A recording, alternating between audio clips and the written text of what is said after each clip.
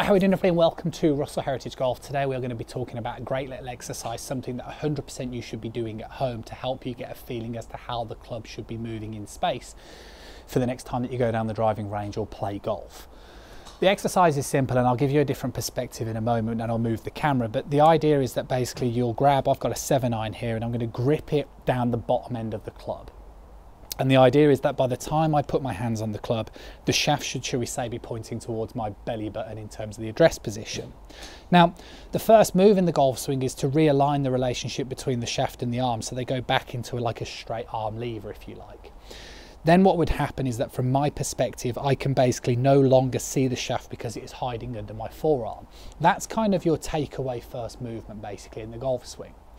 Then the idea is that as I kind of start to take the club back to say left arm horizontal, then it would potentially start to reappear, right? So it'd start to stick out the end of the club because obviously the club needs to point more down towards the ball to target line. You would then swing up towards the top, and again, the point is depending where you are, you'd start to see it. As you transition, again you'll get a strong visual of the kind of base of the club sticking out that you'll be able to see out of your eye line.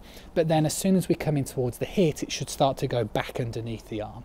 So one of the things that we tend to see with a lot of amateur golfers is um, struggling with with playing. And, and this would be you know even relative to a decent level of golfer and also um, people that are struggling maybe more than you realise. So, you know, sometimes the thing is we, we try and hit the ball so much from the inside that we actually do end up off plane, which then means that we hit it either with a high rate of rotation or we end up flipping on the golf ball.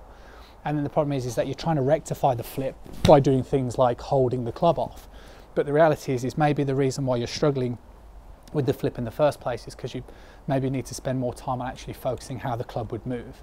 So basically what this exercise would do from a side-on perspective is it would help you bring the club back in towards a pre-impact area more like so, and then the hit like so, because again it stays under the arm, as opposed to maybe I can now see it and then it flips over this way.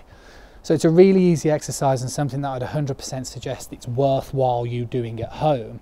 And then all of a sudden what you can start to do is the next time you go down the driving range, you'll get a much stronger feeling of basically what I've been talking about in recent videos as the release. So the point is you'd feel the club more here, should we say in front of the body, as opposed to getting necessarily too far underneath the body.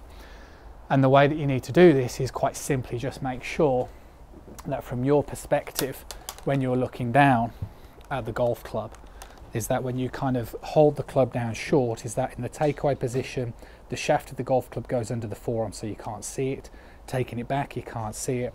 Swinging up to the top, then the shaft of the club would start to materialize then as you kind of bring it down, it would materialize, but then it's this point here, as you can see when we come back in towards the impact area where it goes back under the arm and then coming in towards impact, it stays under the arm as well. Really good drill to start to get to feel how much rotation and down cocking is needed to get you back onto plane. And again, it's a great little exercise for something which will give you a sense of feeling rather than the idea of necessarily trying to understand exactly how much you need and when. Hopefully you enjoyed the video. Catch up with you soon.